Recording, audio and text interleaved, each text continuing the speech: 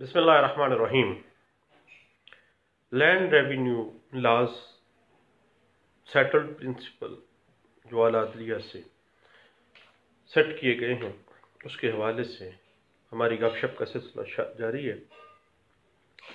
याद रखिएगा कि महकमा माल की जो अथॉरिटीज़ हैं ऑफिशियल्स हैं, उनके जो फैसला जात हैं उनके ऊपर रेस्क्यू डिकाटा अप्लाई नहीं होगा और ना ही एक सिविल कोर्ट से इमूवेबल प्रॉपर्टी को हासिल करने के लिए उस पर कब्ज़ा है या उसका कोई टाइटल है उसके हवाले से सिविल कोर्ट में किसी किस्म का कोई दावा करना उसके ऊपर कोई रेस्क्यू डिकाटा अप्लाई नहीं होता है, बल्कि रेवेन्यू के बाद सिविल कोर्ट में अगर कोई मैटर बनता है तो दायरी दावा की जा सकती है। ये बात इंटरप्रेट हुई थी। 2013 सीएलसी पेज है 632 के अंदर इस बात को वाजे किया गया था। हसरा गर्दौरी जो है, उसका ताल्लक हसरा गर्दौरी की तैयारी की जो तारीख है उससे है ना कि फ़सल काश्त करने की तारीख से। जिस दिन खसरा गर्दौरी तैयारी उसकी की गई है, उस दिन से खसरा गर्दौरी का रिकॉर्ड सब्र किया जाएगा। ना कि उस तारीख से जिस तारीख को वहाँ पे फ़सल काश्त की गई थी। ये बात 2014 एस सी एम आर पेश है 914 इसके अंदर इस बात को वाजे किया गया था। और खसरा गर्दौरी के हवाले से याद रखेगा कि अगर खसरा गर्दौरी के अंदर कोई तब्दीली रिकॉर्ड में कोई इंट्री साबित हो जाती है कि वो गैर कानूनी तौर पर की गई थी देन खसरा गर्दौरी की जो असल इंट्री थी, जिसके अंदर तब्दीली की गई, जिसके अंदर कोई अजाफा किया गया, कोई तब्दीली की गई है उसके अंदर तो जो असल तब्दीली जिस इंट्री में तब्दीली की गई है, वो असल इंट्री जो है, उसको दुरुस्तगी का दर्जा हासिल होगा और उसको दुरुस्त तस्लीम किया जाएगा। ये बात 2014 S C M R page है 914 के अंदर इस बात को वाजी किया गया था। याद रखिएगा कि जो डिमार्केशन का मैटर है एग्रीकल्चरल लैंड में डिमार्केशन का जो इख्तियार है, वो सिर्फ़ और सिर्फ़ रेवेन्यू अथॉरिटीज़ के पास है। और इस हवाले से आप सिविल कोर्ट में एग्रीकल्चरल लैंड्स की डिमार्केशन के लिए आप नहीं जा सकते हैं। ये बात इंटरप्रेट हुई थी 2013 सी एल सी पेज है वन एट टू, थ्री के अंदर इस बात को वाजे किया गया था।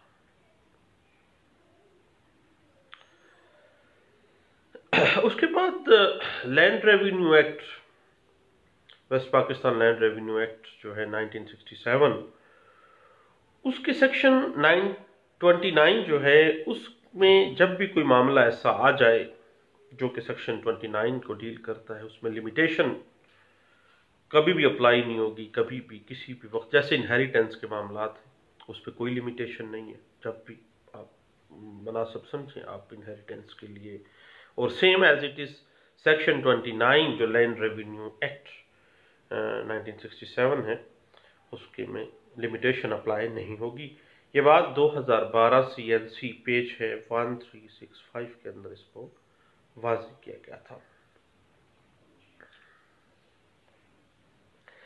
अब रेवेन्यू मैटर्स में जो आला अथॉरिटी है, वो बोर्ड ऑफ़ रेवेन्यू है। बोर्ड ऑफ़ रेवेन्यू बुनियादी तौर पर under section eight land revenue West Pakistan land revenue act 1967 जो है उसके अंदर उसको रिव्यू करने के उस फैसले को जो महकमा ने दिया है या जो इंट्रीज उसने गलत किया है, उसके खिलाफ जो भी अपील है, उसको रिव्यू के इख्तियार जो हैं under section eight land revenue act 1967 जो हैं वो हासिल हैं।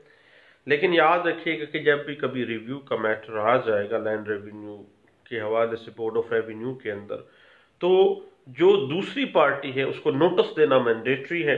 ये बात वाज की गई 2012 सीएलसी पेज है 185 के अंदर। उसके पहले पीएलडी 2009 लाहौर हाई कोर्ट में ये बात डिस्कस की गई थी और पेज है 467 के अंदर। उसके बाद जो सिविल कोर्ट जब किसी टाइटल के हवाले से कोई डिग्री दे देती है तो लैंड रेवेन्यू जो अथॉरिटीज हैं दे आर ड्यूटी बाउंड वो ड्यूटी बाउंड हैं कि उस पर एग्जीक्यूशन करें, उस पर अमल दरामद करें। जब सिविल कोर्ट ने एक डिग्री जारी कर दी है। ये बात एक लंबा सा केस चला आखिर कर 2011 में। सुप्रीम कोर्ट ऑफ़ पाकिस्तान में इस पर फैसला आ गया और ये बात रिपोर्ट भी की गई थी। 2011 S C M R page है वन ज़ीरो टू वन के अंदर इस बात को वाजे किया गया था उसके बाद पटवार पर जो है, पटवारी रिपोर्ट जो है, किसी भी हवाले से, कोई भी मैटर में जो पटवारी की रिपोर्ट है, अगर पटवारी रिपोर्ट रेवेन्यू ऑफिशियल्स की तस्दीक करदा ना हो, उस पर वो अपनी तस्दीक ना करें देन कानूनी एतबार से उसकी वैल्यू नहीं होगी। इस वजह से याद रखिएगा कि जब जो भी पटवार की रिपोर्ट होगी उस पर रेवेन्यू ऑफिसर की तस्दीक लाजमी है मैंडेटरी है अदरवाइज़ कानून की नज़र में उसकी अहमियत ज़ीरो बटा ज़ीरो होगी। ये बात वाज हुई थी 2011 वाई एल आर पेज है 2014 के अंदर। उसके बाद डिमार्केशन का जहाँ तक मामला है, वो पहले भी हमने डिस्कस किया कि रेवेन्यू अथॉरिटीज़ के पास एग्रीकल्चरल लैंड का डिमार्केशन के इख्तियार हैं और कोई भी रेवेन्यू ऑफिसर जो है, वो गर्दौर के ज़रिए हल्का पटवारी या बजाते खुद जो है, वो जाकर मौका पर हद बर्दारी की कार्रवाई कर सकता है और उसके पास अथॉरिटी है एक रेवेन्यू ऑफिशियल के पास कि वो डिमार्केशन के लिए मौका पर जाए और उसकी इंस्पेक्शन करे, उसकी डिमार्केशन की कार्रवाई करे। ये बात वाजे की गई थी 2011 वाया पेश है 872 के अंदर। उसके बाद म्यूटेशन जो एग्रीकल्चर लैंड की हवाले से ये बात है कि म्यूटेशन पे जो अमल दरामद है, वो तारीख तस्दीक इंतकाल से शुरू होगा। जिस दिन वो इंतकाल तस्दीक हुआ है, उस दिन से वो अमल दरामद जो है, वो तस्वर किया जाएगा कि ये वो उस तारीख से है। ये बात इंटरप्रेट हुई थी 2011 वाई एल आर पेज है डबल टू थ्री टू और पेज सी के अंदर इस बात को वाजे किया गया था।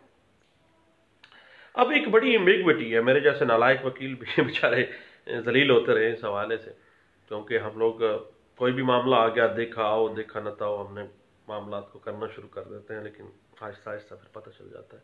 एक बात जहन में रखिएगा, हमेशा बतौर एक सिविल और रेवेन्यू वकील के तौर पे, कि जो भी जायदाद अंदरून हदूद कमेटी आ जाती है, जो भी जायदाद शहरी इलाके में आ जाती है जो भी जायदाद, शहरी जायदाद के हवाले का दर्जा हासिल कर जाती है, उसकी जो पार्टीशन है, उसके दावे जब भी होंगे, वो सिविल कोर्ट में होंगे, उसकी पार्टीशन के हवाले से कभी भी रेवेन्यू कोर्ट्स जो है, उनको कोई अथॉरिटी नहीं है, कोई इख्तियार नहीं है। शहरी जो भी प्रॉपर्टी है, वो शहरी प्रॉपर्टी सिविल कोर्ट में जाएगी, रेवेन्यू कोर्ट में नहीं जाएगी। ये बात वाज हुई थी और सेटल्ड प्रिंसिपल का दर्जा हासिल कर गई थी। 2011 वाई एल आर पेज है वन सेवन टू फोर के अंदर इस बात को वाज किया गया था। उसके बाद याद रखिएगा कि किसी भी टाइटल को डिक्लेयर करना, अदालत जो माल है वो टाइटल से मतलब अगर सिविल कोर्ट ने कोई दावा डिग्री किया है तो उस फैसले की पाबंदी उस पर लाजम है और जो टाइटल का फैसला एक सिविल कोर्ट ने किया है, वो फाइनलिटी का दर्जा हासिल कर जाता है। अलबत् अजरा के हवाले से वो देख सकती है कि इसका अजरा क्या मुमकिन भी है या नहीं है। लेकिन अलबत् ये रखिएगा कि सिविल कोर्ट की डिग्री जो है, वो रेवेन्यू अथॉरिटीज़ के लिए फाइनलिटी का दर्जा रखती है। इस पर बीस केस लास्ट थे कई दफ़ा ये बात डिस्कस की गई थी।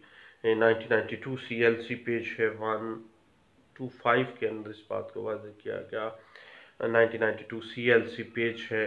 वन थ्री टू नाइन के अंदर इस बात को वाज किया गया। और 1998 सीएलसी पेज है। वन टू नाइन के अंदर इस बात को वाजे किया गया। और 1998 की ही एक लैंडमार्क जजमेंट है। सी एल सी पेज है। वन टू वन सिक्स के अंदर इस बात को वाजे किया गया।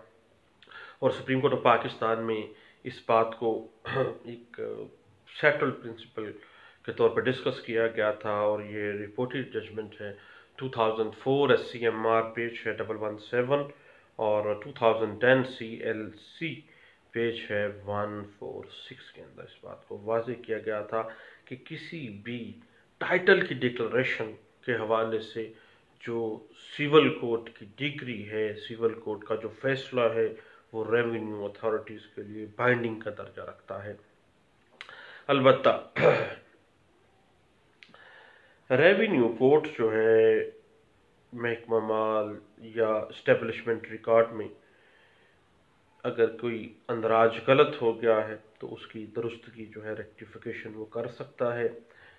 और अगर वो दुरुस्तगी कर लेता है अपने रिकॉर्ड की, और वो बोनाफाइड का दर्जा रखती है और बोनाफाइड विद गुड इंटेंशन वो जो गलत इंट्री हो गई थी, उस गलत इंट्री को दुरुस्त किया गया, उसको रिबट नहीं किया गया किसी पार्टी की तरफ़ से। देन जो रेवेन्यू अथॉरिटीज़ की तरफ़ से अपने गलत इंदराज की दुरुस्तगी जो है, वो दुरुस्त तस्लीम की जाएगी इस हवाले से। एक लैंडमार्क सेशमेंट है 2009 सी एल सी पेज है फाइव फोर टू के अंदर इस बात को वाजे किया गया था। अब रेवेन्यू अथॉरिटीज़ का जो रिकॉर्ड है याद रखिएगा कि वो एक पब्लिक डॉक्यूमेंट का दर्जा हासिल कर जाता है और एनी बॉडी कोई भी शख्स रेवेन्यू रिकॉर्ड की मुसद नकूल जो है, किसी प्रॉपर्टी के हवाले से वो हासिल कर सकता है। ये बात N R two thousand nine revenue law digest है पेज 26 के अंदर इस बात को वाजे किया गया था। अब किसी म्यूटेशन के हवाले से अगर सिविल कोर्ट कोई डिग्री दे देती है इंतकाल के हवाले से सिविल कोर्ट डिग्री जारी कर देती है। तो वो इंतकाल तस्दीक करना जो है, वो रेवेन्यू ऑफिशियल्स के लिए मैंडेटरी है। ये बात P L J two thousand six Supreme Court of Pakistan page four hundred के अंदर डिस्कस की गई। P L J two thousand six Supreme Court of Pakistan page four two five के अंदर इस बात को डिस्कस किया गया। उसके बाद two thousand four S C M R page double one four के अंदर इस बात को वाज किया गया और कहा गया कि सिविल कोर्ट की डिग्री की बिना पर इंतकाल तस्दीक करना रेवेन्यू अथॉरिटीज़ के ऊपर लाजमी है मैंडेटरी है। वो लाजमी उसको करेंगे और ये बात डिस्कस की गई थी। 2005 S C M R page है 1617 के अंदर। और लाहौर हाई कोर्ट में इसी बात को, इसी नुक्ते के ऊपर एक लैंडमार्क जजमेंट दी गई थी। P L J two thousand eight Lahore High Court page है 392 के अंदर इस बात को वाजे किया गया था। अलबत्ता एक छोटी सी एम्बिग्विटीज़ है लैंड रेवेन्यू एक्ट और लैंड रेवेन्यू मैनुअल्स की प्रोसीजर के हवाले से। याद रखिएगा कि बोर्ड ऑफ़ रेवेन्यू की जितनी भी कार्रवाई है उस कार्रवाई में कोड ऑफ़ सिविल प्रोसीजर जो है नाइनटीन उन्नीस नाइनटीन ज़ीरो एट जो है, मजमू जबत दीवानी उन्नीस सौ आठ जो है, वो अप्लाई होगा और उसकी, उसको अप्लाई करने से कोई भार नहीं है, बल्कि एक कानून का एक सेटल प्रिंसिपल है कि बोर्ड ऑफ़ रेवेन्यू की कार्रवाई में मजमू जबत दीवानी उन्नीस सौ आठ अप्लाई किया जाएगा। ये बात इस पर बीसियों के असलास मौजूद हैं और जब भी कभी प्रॉब्लम आ जाए बोर्ड ऑफ़ रेवेन्यू की प्रोसीडिंग्स के अंदर तो इस बात को वाजे भी किया जा सकता है और सी पी सी को इस्तेमाल किया जाता है। इस हवाले से लैंडमार्क जजमेंट है nineteen ninety two S C M R page है एटी टू और nineteen ninety seven M L D page है वन सेवन डबल एट और nineteen ninety eight S C M R page double two double six के अंदर इस बात को वाजे किया गया। 2007 सीएलसी पेज है 1902 के अंदर इस बात को वाजे किया गया था। अब बात वहीं पे आ जाती है कि जो भी लैंड रेवेन्यू रिकॉर्ड के अंदर जो भी इंट्रीज हैं, उनको करेक्ट तस्लीम किया जाएगा। उस वक्त तक, जब तक कि उसको, उन इंट्रीज को रिबट नहीं किया जाता। अगर किसी ने छेड़ा नहीं है, किसी ने रिबट नहीं किया धन वो दुरुस्त है। अगर रिबट किया है तो धन वो डिलेपिडेटेड हो गया मामला, फिर उसको रिबटेड में आ गया और उसको साबित करना पड़ेगा कि ये गलत इंट्रीज है। इस हवाले से लैंडमार्क जजमेंट है सुप्रीम कोर्ट ऑफ़ पाकिस्तान की। 1995 में ये बात डिस्कस की गई। S C M R page है डबल फाइव और 2005 एस सी जे पेज है डबल टू सेवन के अंदर इस बात को वाजे किया गया था।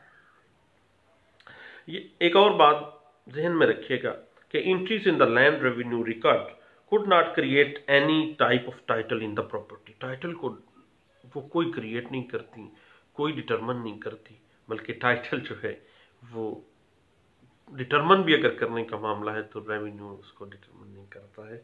ये बात वाजे की गई थी 1994 एस सी पेज है 523 के अंदर, और P L D two Lahore high court page 58 के अंदर 2005 एस पेज है नाइन डबल वन और 2005 एस पेज है नाइन टू वन के अंदर इस बात को वाजे किया गया। Thousand five Supreme Court of Pakistan page 343 और thousand five Supreme Court of Pakistan page 390 के अंदर इस बात को इंटरप्रेट किया गया था। उसके बाद अगर कोई गलत म्यूटेशन किया गया है, गलत इंतकाल किया गया है तो गलत इंतकाल तो जनाब किसी किस्म का कोई राइट उस प्रॉपर्टी की बाबत पैदा ही नहीं करता। टाइटल तो वैसे ही म्यूटेशन जो है क्रिएट नहीं करती, लेकिन अगर गलत इंतकाल है देन उस प्रॉपर्टी की बाबत कोई राइट भी क्रिएट नहीं करता। ये एक लैंडमार्क जजमेंट थी। 2005 S C M R page है। 1690 के अंदर इस बात को वाजे किया गया और 2001 S C J page double three के अंदर इस बात को वाजे किया गया था। उसके बाद एक अहम नुक्ता है कि under section 18 West Pakistan land revenue act 1967 कहता है कि रेवेन्यू ऑफिसर के किसी बतौर रेवेन्यू ऑफिसर आर्डर की वजह से उसके खिलाफ कोई दावा, जो उसने बतौर रेवेन्यू ऑफिसर कोई आर्डर पास कर दिया है ना, अब उस आर्डर के खिलाफ कोई दावा या प्रोसिक्यूशन जो है, क्योंकि उसने एज ऑफिशियल वो आर्डर पास किया है, अब उसकी जो ऑफिशियल कैपेसिटी में उसके खिलाफ दावा नहीं किया जा सकता। ऑफिशियल कैपेसिटी में जो है, वो नहीं किया जा सकता, इसके खिलाफ कोई दावा या प्रोसिक्यूशन नहीं की जा सकती इसको चैलेंज किया जा सकता है। इस हवाले से एक लैंडमार्क जजमेंट है 2005 सीएलसी पेज है टू थ्री फाइव के अंदर इस बात को वाजे किया गया था। उसके बाद प्रॉपर्टीज़ की प्राइवेट जो पार्टीशन है, उसके हवाले से कि अगर खानगी तकसीम पर अमल दरामद के बाद तमाम हिस्सादार अपने अपने कब्ज़े के मुताबिक अपने अपने हिस्से के मुताबिक उनको कब्ज़ा मिल गया है। पार्टीशन जो खानगी है, वो हो गई है, उस पर अमल दरामद हो गया है। देन अब जब सब लोग राज़ी हो गए हैं खानगी तकसीम पर, खानगी तकसीम के मुताबिक अपने अपना हिस्सा ले लिया अपने अपने हिस्से पे काबज़ हो गए हैं देन आपको रेवेन्यू कोर्ट जाके पार्टीशन करवाने की ज़रूरत नहीं है। बस अपने अपने हिस्से को आप कब्ज़े में हैं। उसके उस हिसाब से आप अपने रेवेन्यू रिकॉर्ड एंट्रीज में आप अपना अंदराज करवा देंगे। वहाँ से अदालत से आपको डिग्री लेने की अलहदा से ज़रूरत नहीं है।